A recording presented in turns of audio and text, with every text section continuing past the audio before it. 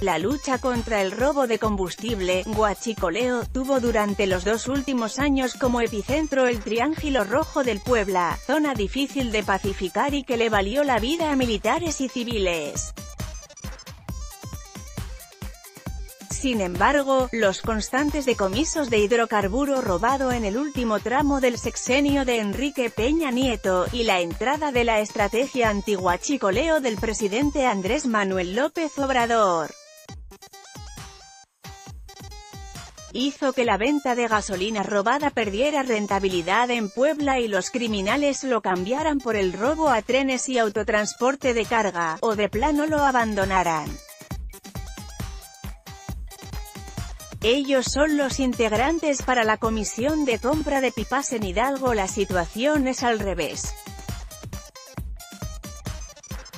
En 2018, en el municipio de Tezontepec de Aldama 35 personas fueron asesinadas en situaciones que se relacionan directamente con la extracción, venta y trasiego de combustible ilícito, según un conteo que hizo el alcalde Pedro Porras Pérez, pero a pesar de ello, la población no se inmuta, no se asusta y es capaz de desarrollar sus actividades, sin alterar su rutina, después de una balacera en las calles lograron normalizar la violencia al rendirse al beneficio económico del huachicol. No, no tenemos miedo a salir de la calle.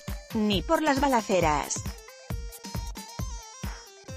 Mira, los enfrentamientos se dan entre los que controlan las tomas de combustible, pero no se meten con la gente del pueblo, porque aquí muchos venden, y casi todo el pueblo compra guachicol. No son de aquí, refirió un comerciante y vecino de la cabecera municipal que pidió el anonimato.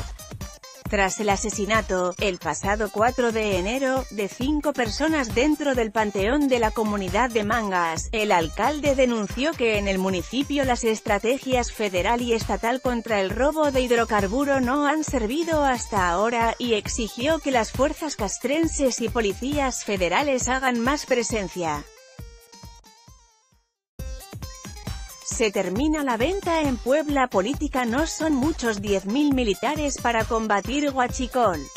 AMLO en contraste, hace unos meses la venta de gasolina ilegal en la central de abasto de Huixcolotla se realizaba a plena luz del día y a los ojos de policías municipales y federales. Ahora, en el lugar donde se exhibían las garrafas de combustible robado se ofertan gorras, cinturones y comida típica. En un recorrido El Sol de Puebla constató que el negocio que tuvo auge en 2017 ya se terminó y que se ha reforzado la seguridad del municipio. Los locatarios, de manera anónima, refirieron que se canceló la venta pública de este combustible desde los operativos conjuntos del gobierno federal con la entonces administración de José Antonio Gali en 2018.